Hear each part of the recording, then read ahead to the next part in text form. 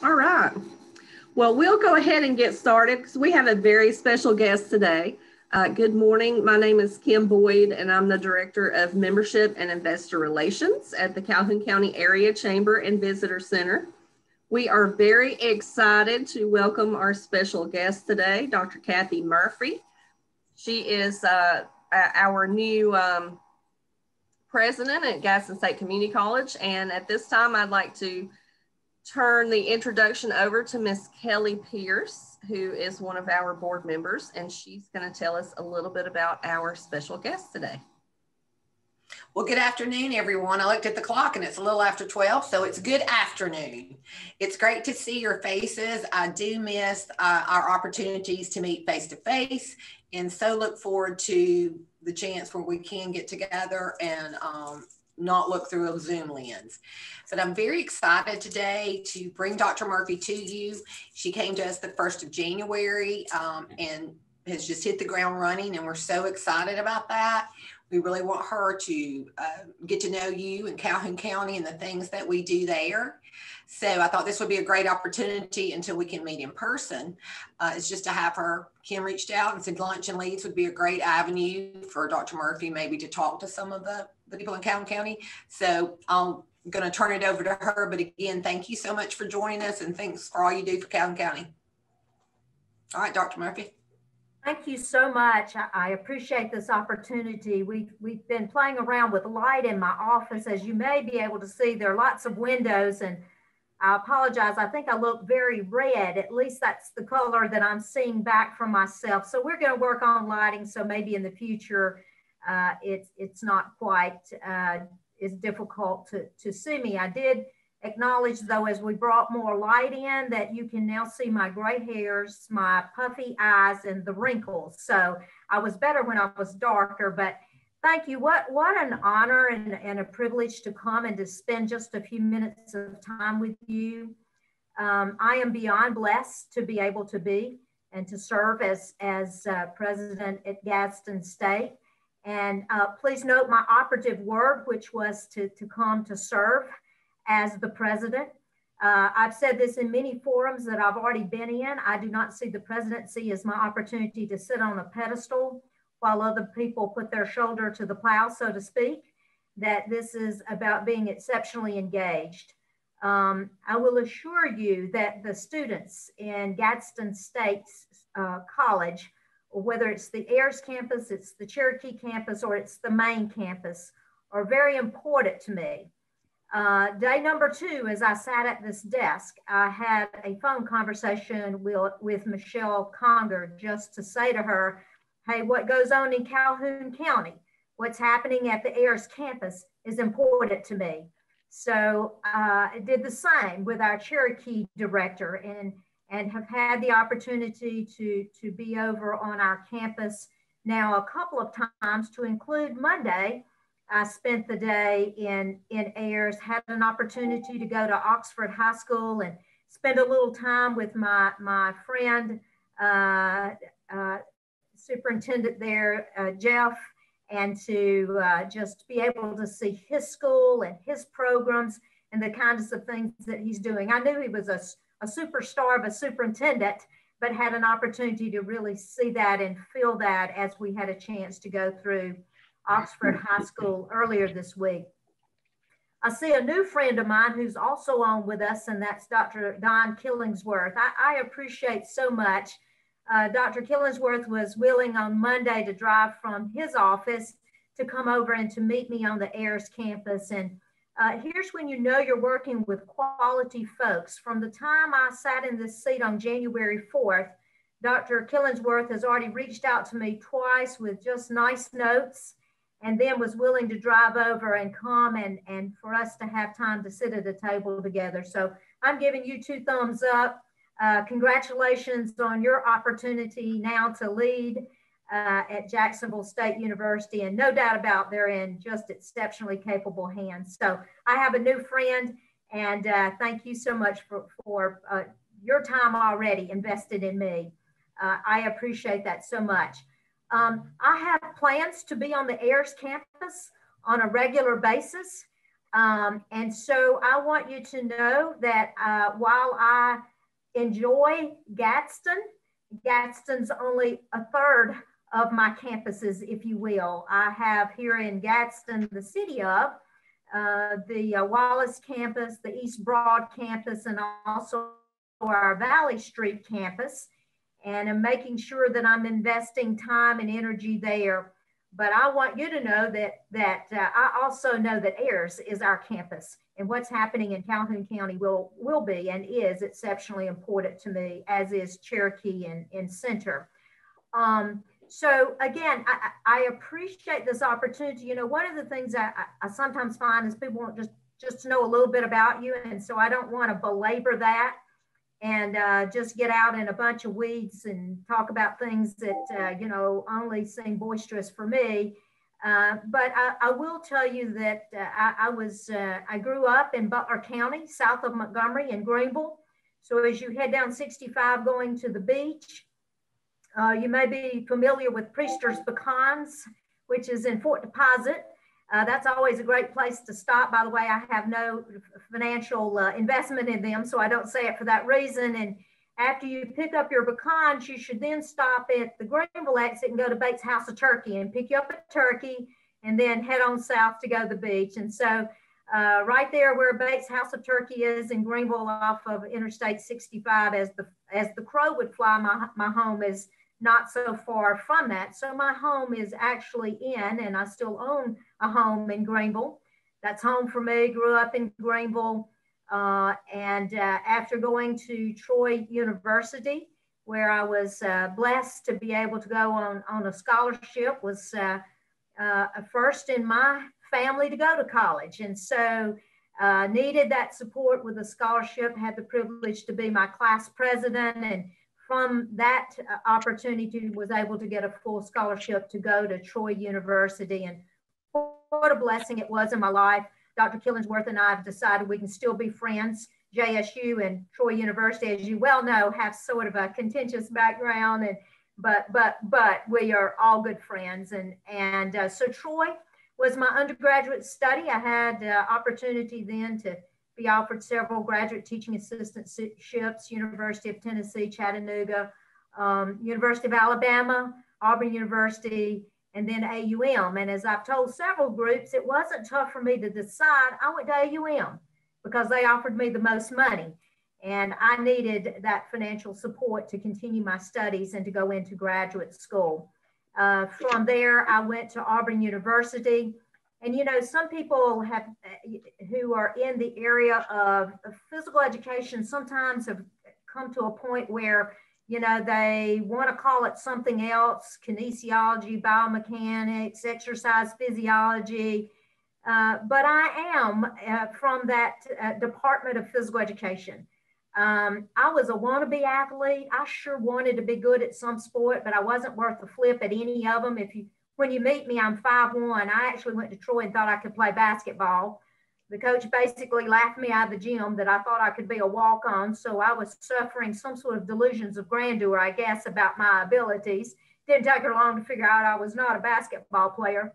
Uh, funny story about that Joyce Sorrell was the uh, coach at that time, and uh, she allowed me for one week to run the bleachers. I think she was trying to run me off as she had me run the bleachers and I wasn't about to leave. I made her tell me I was not good enough and dismiss me at the end of the first week uh, from that basketball program. But um, uh, my background is in exercise science, physiology, anatomy, biology, love the sciences, love the study of the body. As I've told other people, the origins of muscles and the insertions and uh, just, just find the whole area of fitness just to be something that's important to me. It's really my catharsis. Uh, and so most afternoons as I leave my office, I, I head over to uh, our gym at Beck to, to get in a little bit of cardiovascular and some opportunity to do some weight training. Uh, participated in the National Women's Olympic, Olympic lifting meet back in the 80s and placed ninth in the nation and then I was a bandit runner in the, the um, um, uh, at the Boston Marathon. So anyway, I've had some opportunities to, to do some things like that and continue to love to just try to focus on my health and my wellness and, And you know, we all should do that. So here's where I lecture you. Uh, eat well, get sleep, and go get you some exercise this afternoon. It's important for all of us. It's the greatest stress relief I have is to get in and get a good workout. Uh, so went to Auburn uh, University and, and finished my doctorate there. Had the privilege to teach in Auburn City Schools and uh, then I went to Judson College and spent some time there. Judson's a small college, Southern Baptist, and I got to do lots of things. I not only taught in the physical education department, I was the athletic director, I was the chair of the department, I ran the intramural programs, I coached basketball for a period of time and coached tennis. So I had an opportunity to put my hands on lots of things and wear lots of hats. I then went to the University of West Georgia and spent five years as as an assistant professor in uh, Carrollton, Georgia. Um, got married and uh, have a beautiful daughter. Her name is uh, Caitlin Connor Murphy White. Now, there's a good Irish name for you, Caitlin Connor Murphy White. My daughter is a classically trained opera singer, South Alabama girl singing opera. Now, go imagine. Uh, but she has been exceptionally gifted by God, has a beautiful voice, has invested a lot of herself and time and energy into the development of her voice, has traveled all over the country with opportunities to sing, and uh, uh, is also involved in musical theater. You know, that was really good for me to have a kid like that because I had been so interested in sports that somewhere along the line I had missed the importance of the arts um, and so when people say, Did she get your talent from me? She must have gotten all of my talent because I have none as it relates to vocal and music and instruments. I have difficulty playing the radio well sometimes. So she she got all those all those talents. And uh, what what a blessing it is. I, I always say this, people think it's a little corny, but isn't it awesome to be a parent, to be trusted? To be that intimately a part of another human being's life, to know that you have the privilege to offer that guidance uh, to a child at that level. And I just, I just count it a blessing. And people go, you know, that's so quirky and that's so corny. And why do you say that every time? But, you know, I just believe it. It's a conviction I have. What a blessing it is to be that involved in, in the life of another human being. So, um, that it, she is my only child. She says when you get it right the first time, you don't have to repeat that. So uh, that's her story. And, uh, and so she travels all over the country and does musical theater and, and performs, uh, sings opera. And uh, she certainly is a gift to me. You know, she makes me a better human being. I bet you would say that about your kids. Uh, now, there are days we could wring their necks I understand that too. I'm a parent, but uh, you know what? What a cool thing it is to to be blessed with our children. I think she's made me a better person. I think she's made me more attuned to how do I really want children to, to be treated. You know, I always use the metric and the measuring stick as I moved on from college to be uh, a principal I spent uh, 10 years in the principalship. Well, excuse me, I actually spent nine years at, as an assistant as a principal at a middle school. I'll spit that out in a minute. And then an additional seven years as a high school principal, a couple of years in the central office, and then my time also at the college level. So I've been doing this for almost, almost four decades. But you know, my metrics stick for how I wanted students to be treated or how I do want our students to be treated is, is that good enough for my child? Would that be okay for me, for Connor, to be in that class or to be treated in that way? And so I do think as a parent, it makes me a better administrator because I know what I expect in terms of a teacher for my child. You know, I never wanted a pretty good teacher raise your hand if it was okay with you that your child had a pretty good teacher.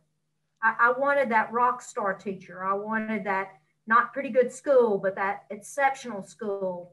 And uh, so I, I, do think it, it's helped me put so many things in perspective.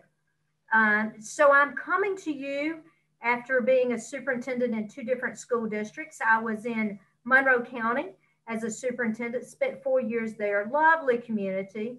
Uh, Harper Lee uh, is uh, from, from Monroeville.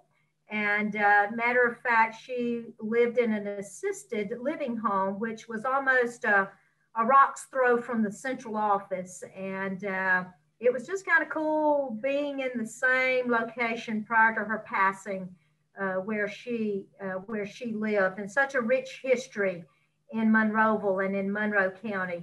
I spent four years as the superintendent there, and uh, had the call then to go to Hoover City Schools. Hoover City Schools is a pretty big operation. Uh, we have, uh, uh or had, let me speak in past tense, um, we had 14,000 students and uh, we had 1,800 employees and 17 school campuses, $169 million budget at a minimum annually and a cost of $13 million a month to operate the school district. And so I've seen big, uh, not only in terms of students, but personnel and budgets. And uh, all, all of those have been very beneficial to me. Hoover's a terrific school district, but there really was a piece that was missing for me. I did the K 12 thing for many, many years. I had been at two different colleges, one smaller college, one larger college, one private college, one public college.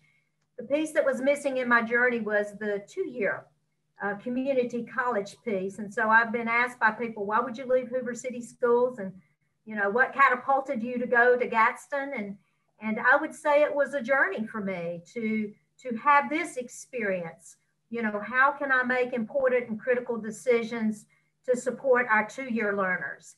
And in many cases, students who come to us are, are students who may also be first generation students to go to college, maybe students who are um, struggling uh, financially to be able to find a way to take that next critical step in their journey. And so I couldn't be more excited to, uh, to support our students now who are in this uh, journey in their education, whether they're right out of high school, or whether they're adult learners, whether they're trying to get a short certificate, where they're trying to get an associate, where their ambition is to take that associate on over to Jacksonville State or wherever they're choosing to go. Uh, how do we make sure that we are student centric, that we're engaged with those students and supporting them? The last thing I want Gadsden State to be is that college where you dart in, take a class, and see how fast you can get off campus. And so one of the things that we're trying to do, and Kelly Pierce is just exceptional at this and will continue to hold my hand as we think about this, how do we become that school where it's about student engagement? How do we get them on our campus and how do we create hubs on our campuses, places where our students can want to hang out and want to, uh, you know, create relationships and associations with other students and you know, I'm open to everything. Is that additional sports? Is that additional uh, fine arts opportunities? You know, what does that look like for our students? And, you know, does that include us looking at a student activities director? Uh, I'm just wide open right now for what does that mean for how we make sure that Gadsden's not a place you come take a class and leave, uh, but come out and hang out with us and have a collegial, have a college experience and uh, look forward to us finding ways to be able to do that. Um, you may have some questions and look, I'm wide open. I, I, am happy to attempt to answer those, Kim. I don't know if that's appropriate to, to, to, to do that, but I'm assuming folks could raise a hand if they wanted to and we could, uh, they could unmute themselves and I, I'm, I'm happy to attempt to answer your questions. I think the most important thing I can say to you is I'm all in. I'm one to 100%. I'm pretty high energy. Uh, I've done this for a long time, had lots of good experiences that I think are good now for me to bring to the table uh, to help us. Uh, I will sort of finish with this last thought and, and, and, then certainly want you to be able to share with me and or ask me things. We, we actually put three buildings that are on our campus on the Board of Trustees agenda during work session today buildings that we believe have long since out, outlived their usefulness. And, uh, you know, space is important and land is important. And how do we make sure that we're maximizing the use of our campuses And uh, so we know that sometimes people are passionate about buildings, um, but we want to be passionate about the right buildings, the right aesthetic buildings. You know, I, I think our buildings can be a, either a, a, selling point for us or a sore eye place for us. And uh, so, so we're really looking at our facilities. The I wish I could take credit for having brought that to the table. That that certainly was a Dr. Lavender thing and, and, and my great executive cabinet. And I see Dr. Uh, uh, Leslie, you're on with us, I think so, uh, Leslie Worthington. And, and, and so the cabinet, that all preceded me. I don't get to take credit for it, but I am supportive for us to address the buildings that need to go away so we can build the buildings that we need to and make sure we have the programs that take our students to the next level. Thank you again for spending your lunch hour with us today. Uh, Dr. Murphy, we look forward to a long, prosperous relationship with you and with Gadsden State Community College. All right. Thank Thanks, you. Kim. Thank you.